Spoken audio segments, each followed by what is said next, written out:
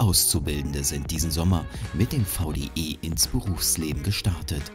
Als eine der größten Technologieorganisationen Europas bieten wir viele spannende Ausbildungen und duale Studiengänge an.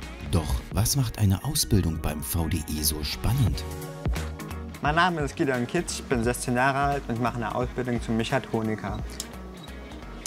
Ich befinde mich hier in einem Prüflabor und messe die Temperatur und Spannungen des Gerätes. Warum ich hier im VDE bin?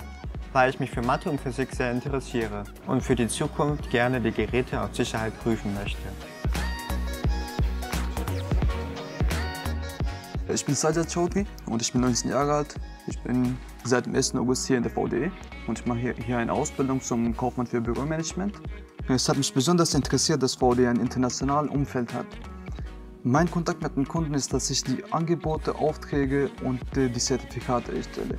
Wir haben regelmäßig Austausch mit den Kunden und Kollegen aus den verschiedensten Ständen weltweit.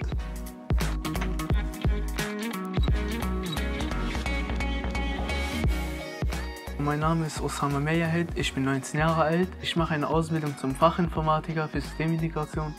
Wir haben gerade den PC um eine Netzwerkkarte erweitert nach einem Schülerpraktikum habe ich gemerkt, wie interessant das ist und deswegen mache ich die Ausbildung zum Fachinformatiker. Wenn auch du Lust auf eine spannende Ausbildung hast, dann schau vorbei und bewirb dich jetzt auf unserer VDE Karriereseite www.vde.com. Wir freuen uns auf dich.